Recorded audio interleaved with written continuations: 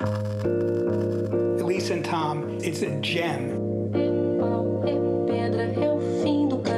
Every breath on that album, every little tinkling piano note is in the right place.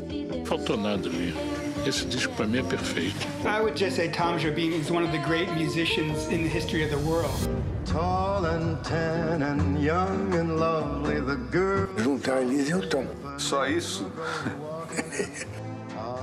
Ele quase se transformou no maior disco não feito da história, entendeu? Elise não gostava do Tom. Eu tenho certeza que a Elis não era das cantoras favoritas do Tom. A ideia dele é que o disco seria um disco dele, né? Mas o disco era dela. Ali era Apolo e Dionísio, né? Tipo, os dois, cada um puxando para um lado. Ele sentou e chegou, virou pro, pro Luiz e falou: quem vai fazer os arranjos?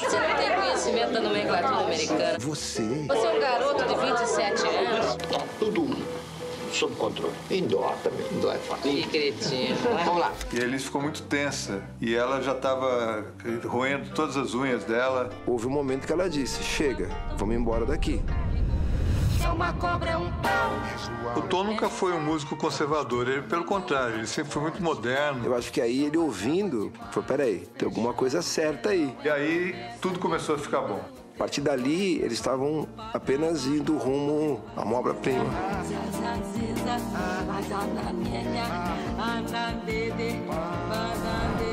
This record, 45 years some later, they left something beautiful for generations to come.